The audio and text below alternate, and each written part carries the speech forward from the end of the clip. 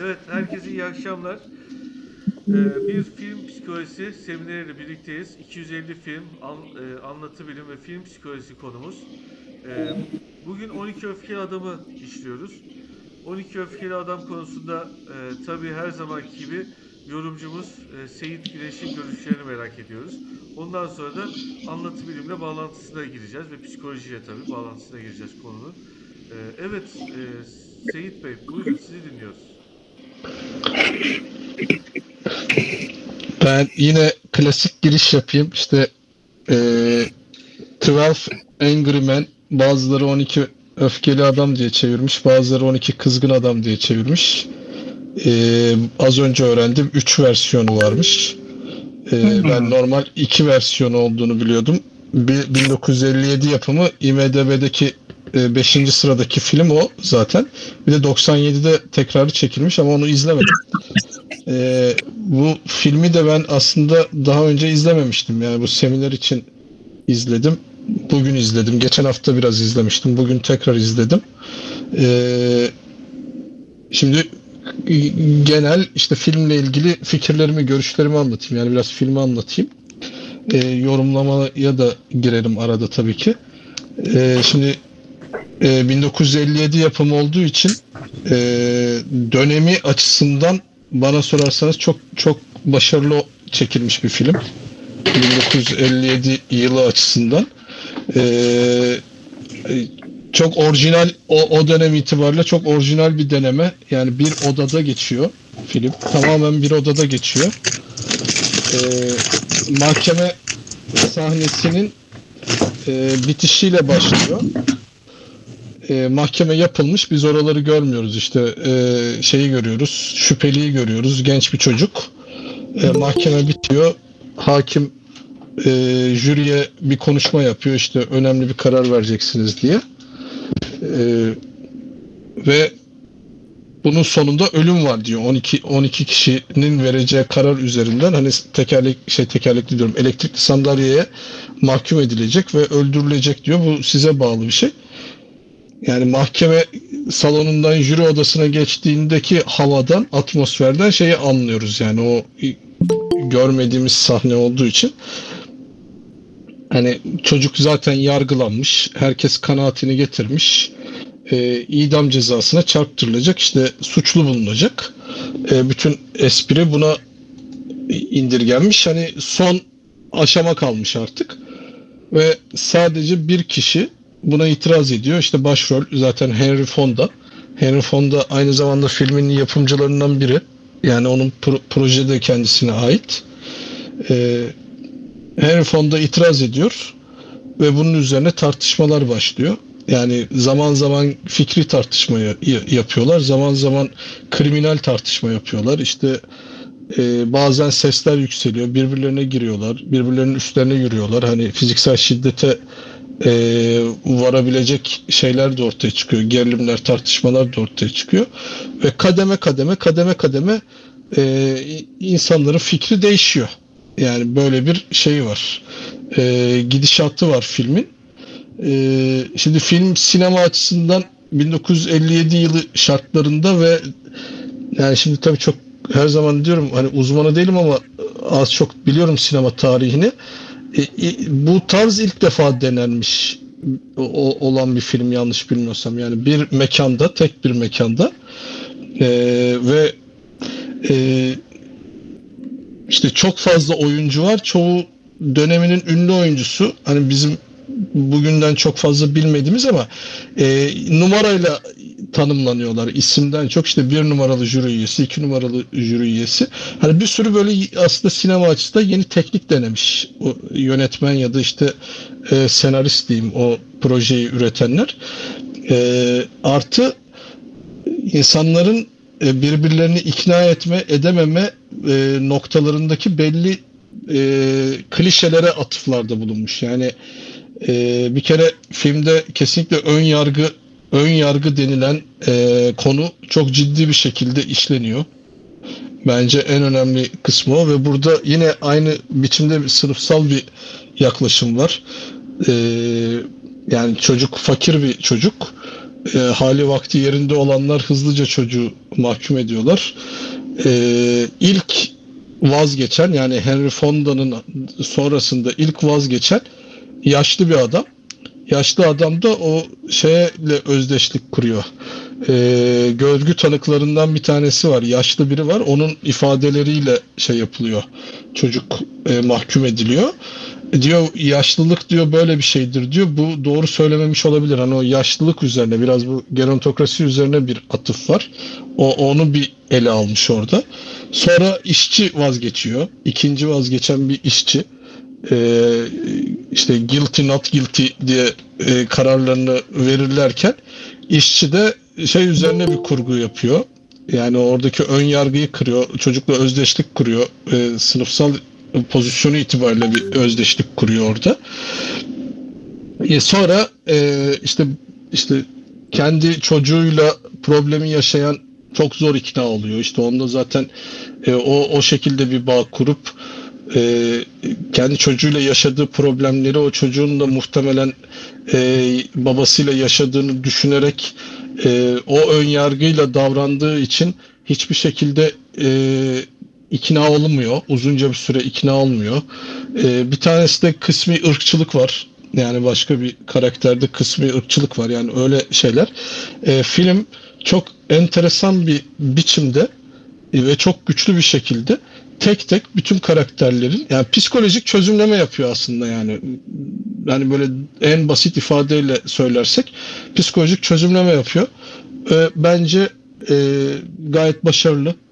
Filmin mesajı, içeriği, işte anlatısı e, yani herhangi bir şekilde sıkılmıyorsun. Oradaki sadece diyaloglar üzerine e, oturmuş hani aksiyonu olmayan neredeyse hiç olmayan bir film. Sadece diyaloglar üzerine oturmuş. E, bir yönüyle sanat filmi e, şeyi var, görüntüsü var. E, buna rağmen sürükleyici bir film yani. Bunlar genelde filmleri sıkıcı yapan öğeler oluyorlar. Yani dışarıdan bakan gözler açısından. E, ama buna rağmen son derece şey sürükleyici bir film, etkileyici bir film. Ben çok beğendim. Yani ben daha önce izlemediğim için üzüldüm.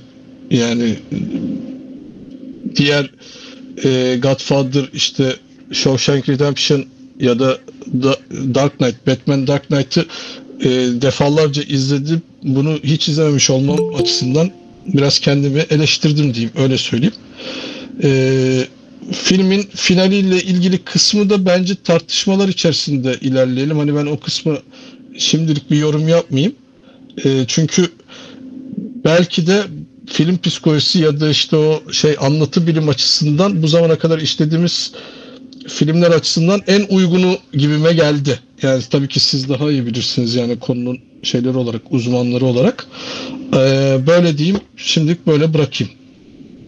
Teşekkür ederim. Ee, Zeycan Hanım buyurun. Ya. Zeycan Hanım buyurun. Ee, ben de Seyit Bey'e katılıyorum. Gerçekten muhteşem bir film.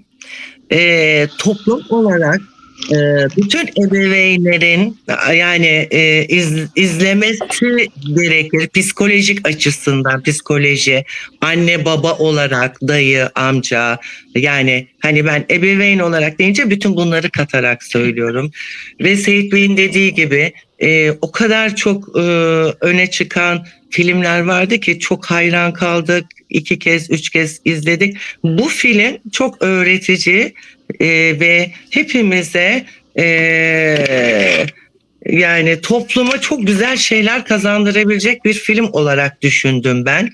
Ee, üzüldüm daha önceden hakikaten izlemediğime. Gerçi ben sizler kadar o kadar çok filmle şeyim yok ama hep meşhur olan işte şey olan filmleri izlemiştim. Ee, ben e, burada anne olarak e, anne olarak yaklaştım olaya. Bir de şöyle toplumdan her e, farklı bir birey olarak yani o gömleği giydirmişler üstüne e, oyuncuların. Yani işte işçisi tutun, işte çok güzel Henry Ford, işte be, beyefendi. E, her farklı bir e, kesimden ve farklı e, fikirleri olabilecek, duyguları olabilecek insanları koymuşlar bir araya ve sonuçta e, iletişim burada çok önemli. Tabii ki çok mücadele ettiler ama çok yani müthiş hiç nefes almadan direkt izledim. Şimdi tekrar sonradan sizleri dinledikten sonra tekrar izleyeceğim. Ama çok et, çok etkisinde kaldım. Ama anlatabilim olarak yani hani bize çok güzel şeyler izler bıraktıran bir film diye düşünüyorum. Ve oradaki babanın e, bizim çocuklarımız olduğu için çocukları olan aileler bunları daha iyi anlayabilir. O çok öfkeli, sinirli olan o oğlunun ona yüzüne yumruk atması ve o kadar kendisini iyi bir baba olarak zannediyor, e, zannediyor ki e, neye göre e, iyi baba? Hani o disiplini kurmuş, hani bu çok iyi bir çocuk yetiştiriyorum, bir tane oğlum var, işte şöyle böyle ama çocuk daha 13, 14 veya 17 yaşındayken mi yumruk atmış o onu onunla özdeşleştirip yani o o hani böyle babanın çocuğu olan öfkesini, hıncını sanki o şey o şeye de yansıtıyor kızgınlığını, öfkesini. Tabii kendi evladını olunca affedebilir ama bir suçluya ona affetmesi belki zor olacaktır.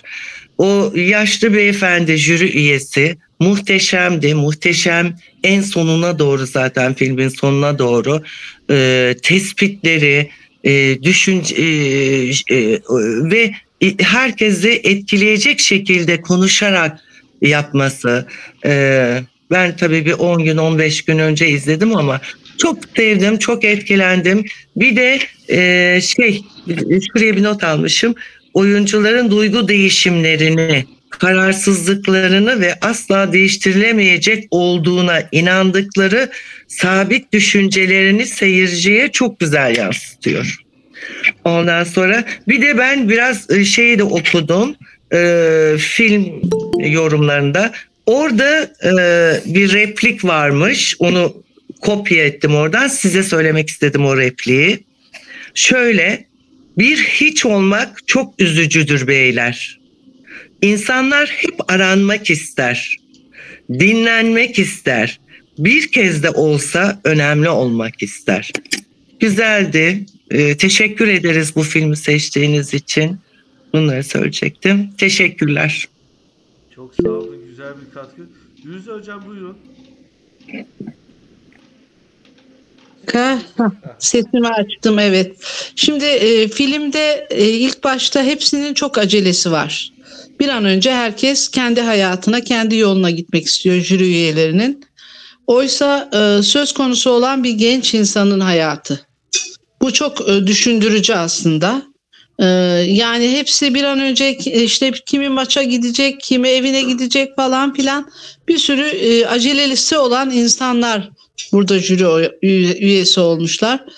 Bir de suçluyu arıyorlar. Ee, yani e, suçlu olan kişiyi buldukları anda rahatlayacaklar. Ki e, bütün e, suçlu olma unsurlarını üzerinde taşıyan bir kişi var. O da çocuk. Oysa çocuğun suçlu olmadığı sonuçta anlaşılıyor. Yani şu anda toplumda en büyük tehlikelerden biri herkes suç işleyebilir ama bütün suçları ona giydirmek yanlıştır düşüncesi e, burada işleniyor. Bence bu çok güzeldi. E, bir de e, suçluyu arıyorlar. Herkes suçluyu bulduğu anda rahatlayacak.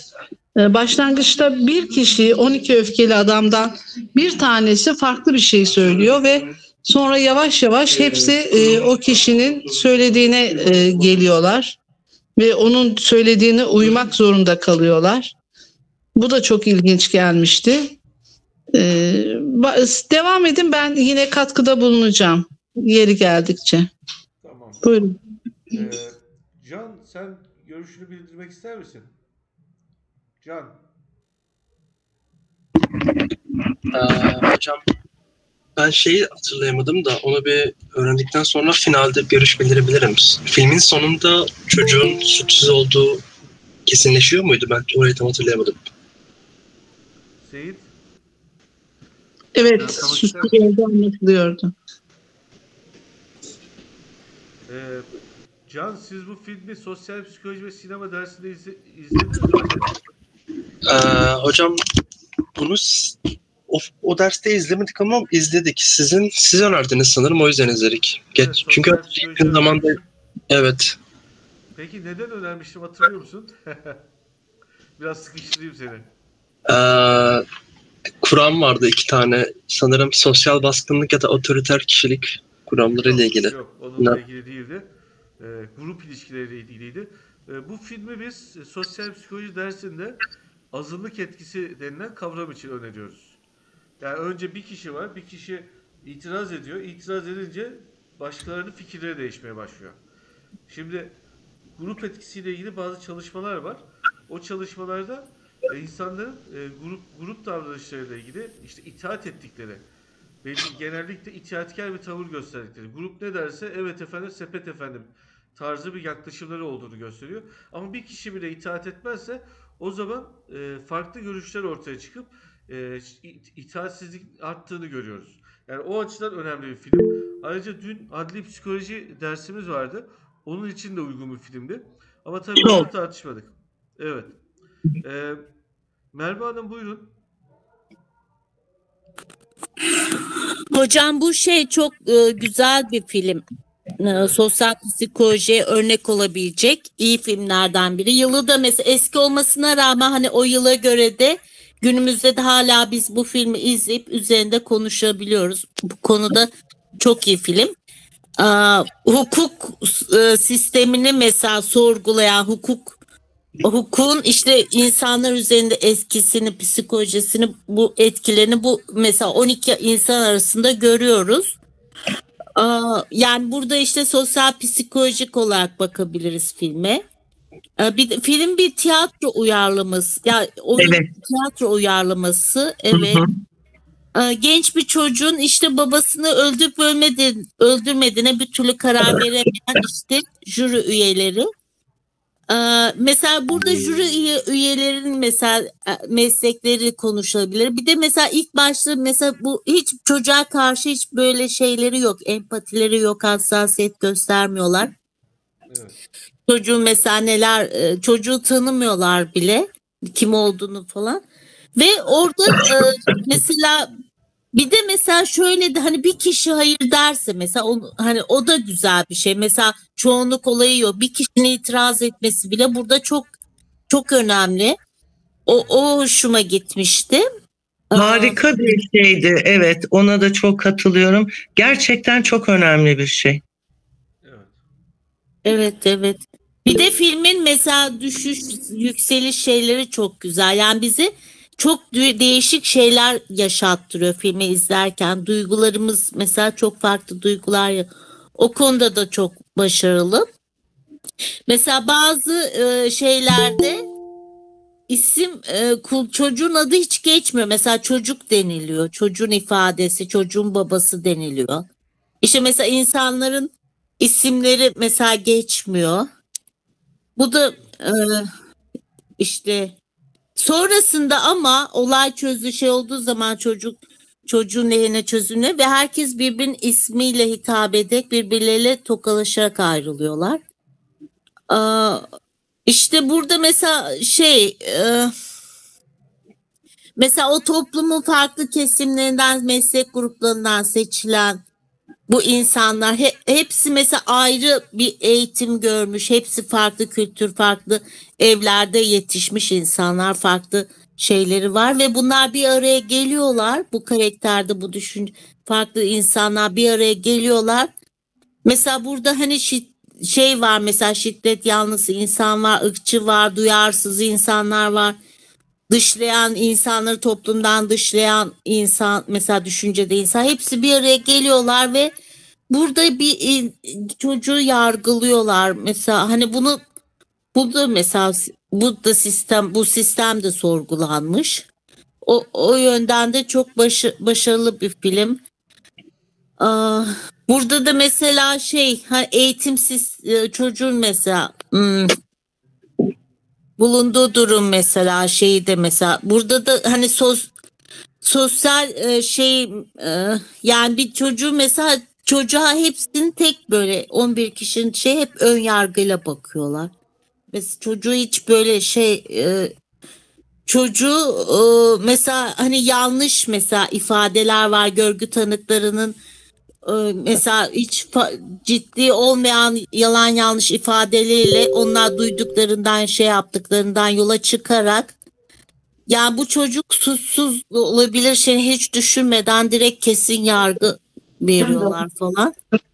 Burada e, hep mesela bu jüri üyeleri de o insanların tanıkların e, söylediklerinden yol- yola çıkıyorlar. Mesela onların ifadeleri hiç sorgulamıyorlar, hiç düşünmüyorlar.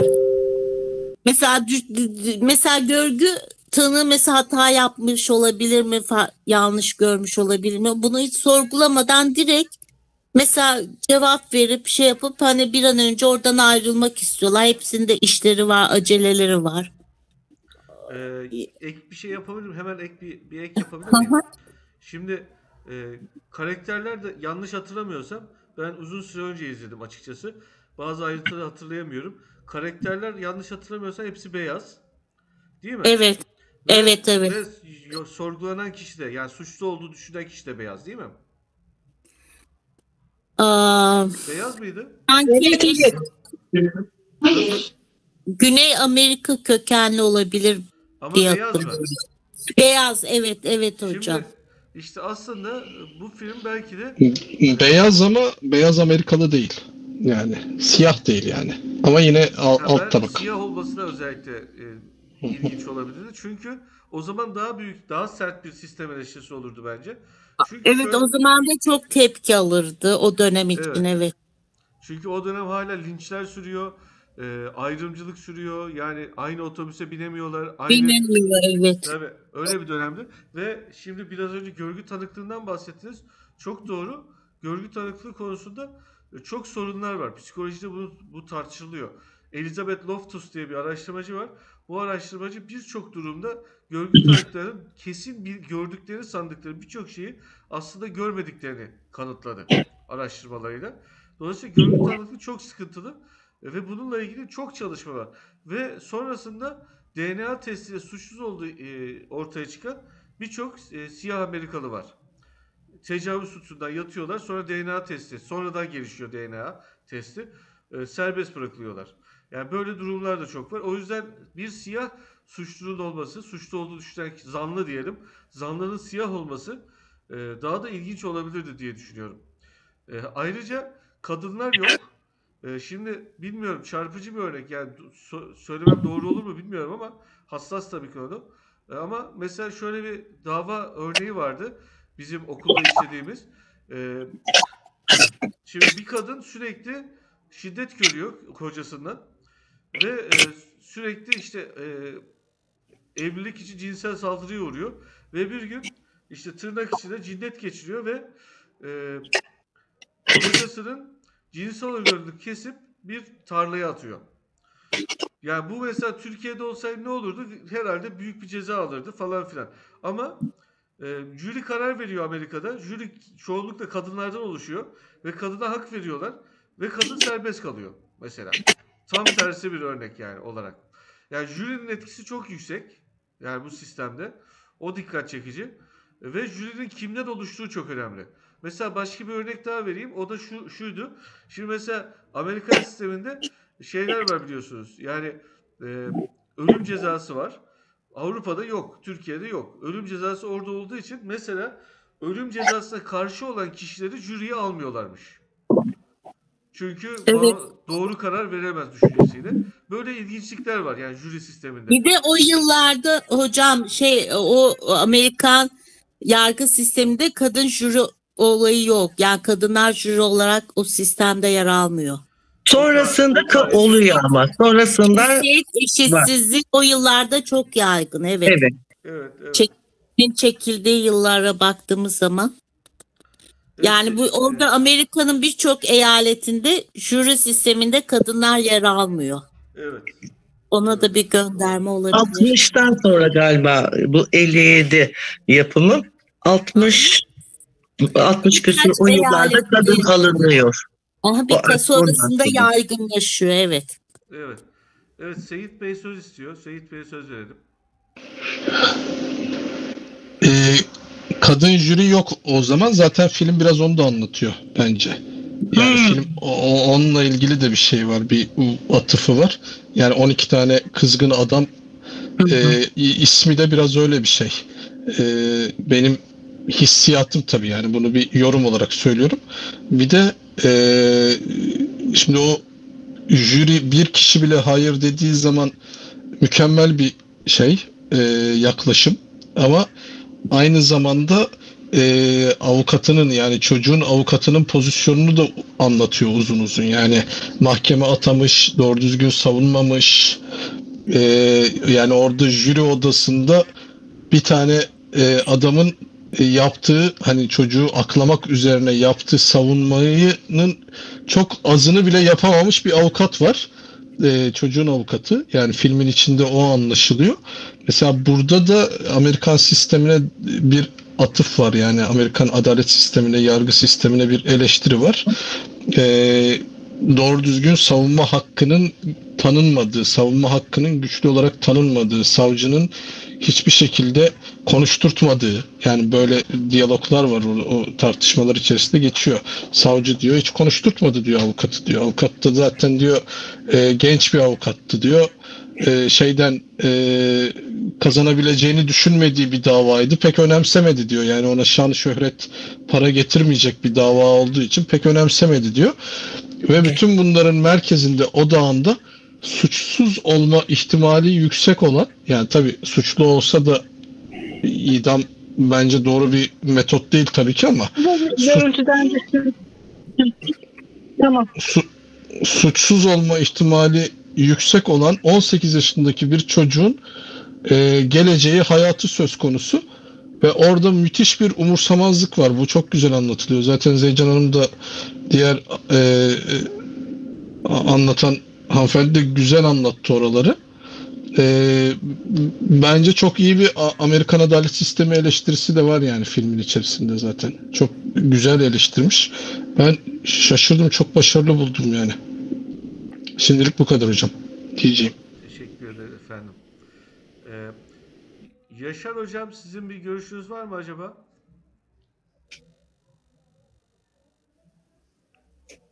Teşekkür ederim. Ben bu e, filmle ilgili söylemem gereken tanık ifadelerine değerlendirilmesiyle ilgili öncelikle yapılması gereken e, her olayın olay yeriyle beraber ortak değerlendirilmesi gerektiğinin e, hissettim. E, o yüzden tanık ifadelerini değerlendirirken çapraz sorgu dediğimiz bir durum var bu çapraz sorgu dediğimiz hadise olmadığı için kimin ne söylediği ne kadar doğru olduğu anlaşılmayan bir film.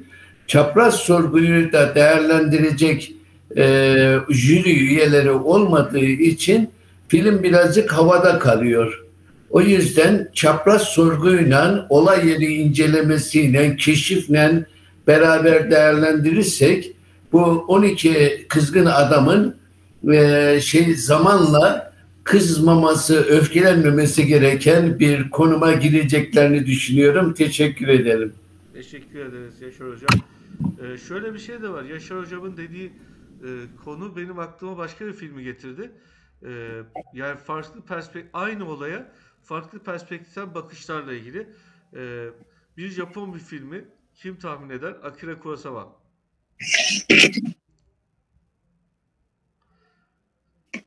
Seyit Bey tahmin eder. Raşo, Raşoman. Rashomon evet aynen. Rashomon filmi tavsiye ederim. Orada aynı olayın farklı perspektiflerden anlatımı gibi bir şey vardır. Hatta onun için Rashomon etkisi diye bir kavram kullanılır. Evet. Ben Raşoman'da da şey izlemedim. mesela dört kişi beş kişi anlatıyor olayı. Evet. Ama, e, o mesela aynı şeyleri görüyorlar, aynı şeyleri izliyorlar, duyuyorlar ve hepsi hepsi farklı anlatıyor ve o kadar birbirlerinden farklı anlatıyor ki mesela bu bir insanın işte yetişme şeyi mesela farklı ailelerde terbiye görüyoruz, farklı kültürler, farklı eğitim, farklı terbiye. Bu bize bu hayata bakış açımızı da şey yapıyor. Mesela gördüğümüzü de farklı yorumluyoruz. Hiç kimse aynı şey o filmde iki kişi mesela hiç aynı şey söyleyen yok. Kimi mesela diyelim ki hırsız farklı söylüyor. Ahlaklı insan farklı söylüyor. Ahlaksız farklı göz şey yapmış, gözlemlemiş falan. O da çok güz- güzel bir örnek. Evet. Evet. Başka görüş bildirmek isteyen var mı? Hüsnü Hocam.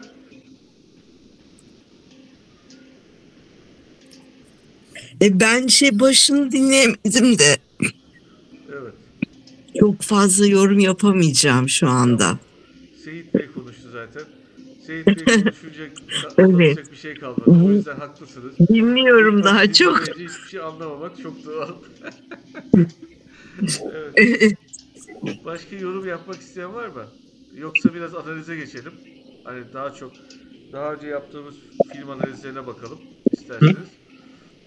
Var mı yorum yapmak isteyen?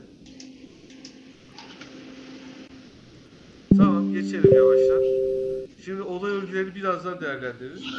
Bu, bu filmin doruğu ne sence Seyit Bey? Finali kesinlikle. Finali yani dolayısıyla doruk sonda geliyor. O dikkat çekiciydi. Çok- Yani en son en sonunda e, hepsinin birbirine hani saygı duyarak öpüşerek ayrılmaları be- bence o çok etkileyici. Yani bir kişinin bir ortamı nasıl dönüştürebileceğine dair muazzam bir önerme yani. Ama tabii 1957 yani o kuşak bence dünyaya bunu yaptı zaten. Hani bu kuşak aynı durumda değil. O ayrı başka bir tartışma konusu ama Nasıl Ee, biraz daha açar mısınız? Yani o kuşak mücadelesini verdi. Dünyayı değiştirmek istedi. Başarısız oldu. Yani Ayrı. 68 kuşağını mı kastediyorsunuz? Efendim? 68 kuşağını mı kastediyorsunuz? Sadece 68 değil. Hepsi. Yani 68, 78, e, 80'ler. Yani bir hani nasıl diyeyim bugün e, işte 50 ile 80 yaş arasında olan bütün bir toplam bunun içerisine girebilir diye düşünüyorum yani. Öyle bir şey oldu.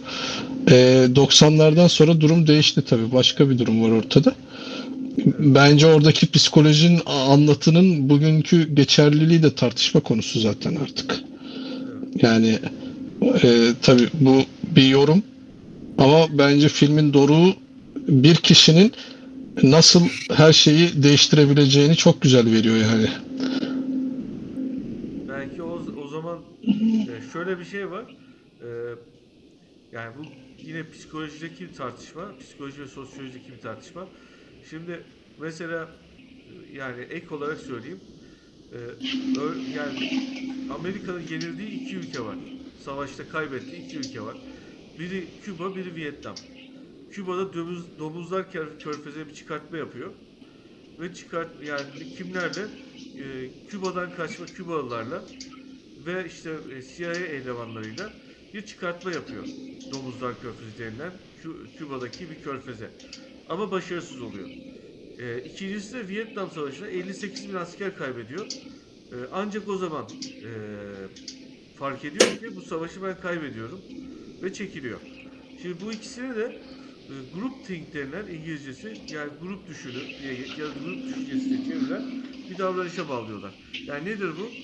Yani e, bir lider çevresinde toplanan evet efendim sepet efendimcilerin, bay evetlerin e, yarattığı sanal ortam nedeniyle liderin e, hayatla bağlantısı kopuyor gerçek hayatla ve yanlış kararlar almaya başlıyor. Çünkü çevresindeki insanlar e, her her dediğine evet diyorlar. Çok doğru söylüyorsun. Alkışlar, şak şak şak şak. Çok doğru söylediniz falan.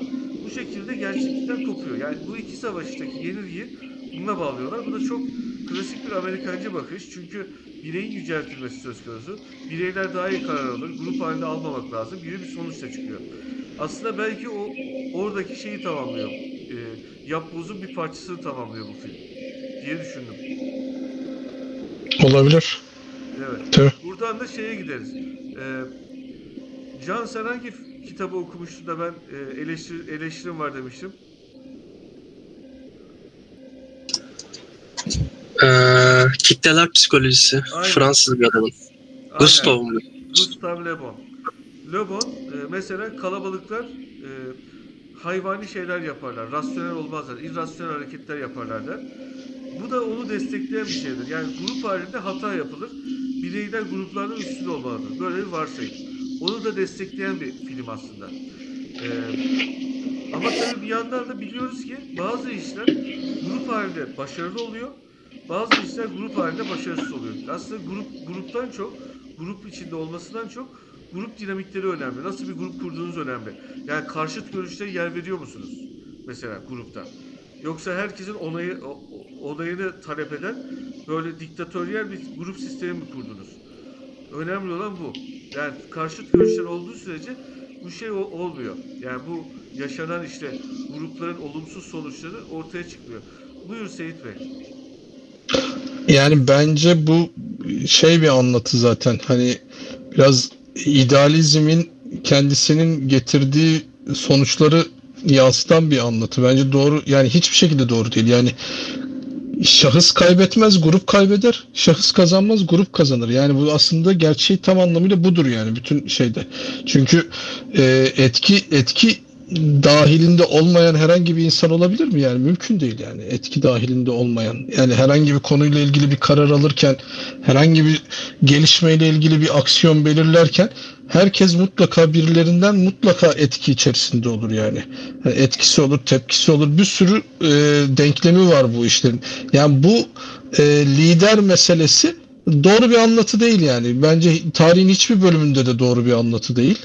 E, yani tabii bu sevilen bir şey. Bir yönüyle de ihtiyaç duyulan bir şey ama bu yani şöyle de bir tarafı var. Hani uluslaşmada önemli bir fonksiyonu var liderliğin. Yani bu işte kapitalizmin imparatorluklardan e, ulus devlete geçiş sürecinde e, üretilen bir ideolojik yaklaşım. Onun kendi içinde bir mantığı var. Çünkü ulus bu tip değerlere ihtiyaç duyar. Yani bunu hani bir eleştiri ya da e, yadırgadığım bir şey olarak söylemiyorum. Yani bunun kendi içinde böyle bir mantığı var. Başka bir yerden bakıldığında da insanlığın şahıslara ihtiyacı yok. İnsanlığın kendi kolektif aksiyonu insanlığı ileriye götürmeye yetecek bir şeydir aslında yani. Hani bir şahsın önderliğinde, bir şahsın liderliğinde herhangi birinin, herhangi bir insan toplumunun e, kendini tariflemesine aslında ihtiyaç yok yani. Böyle bir şeye gerek yok ama bu biraz hani böyle sistematik bir durum işte e, biçilmiş rol gibi kabulleniliyor. Zaten ben bu anlatıya aslında temelden karşıyım ama dediğiniz e, organizasyon açısından doğru öyle oluyor yani. Hani bu burada da öyle anlatılmış. Evet, güzel bir nokta. Herkes etkilenebilir. Aslında şöyle araştırmalar vardı sosyal psikolojide. Özellikle 1960'larda e, Nazileri inceleyip e, nasıl oldu da Naziler iktidara gelebildi diyen diye soran bazı sosyal psikologlar vardı ve bunlar yaptıkları çeşitli deney- deneylerde ayrıntısını anlatmayayım. Çeşitli deneylerde şu sonuca vardır. İnsanlarda bir itaat eğilimi var. Halbuki, halbuki biz biliyoruz ki birçok insanda itaat etmiyor. Yani aslında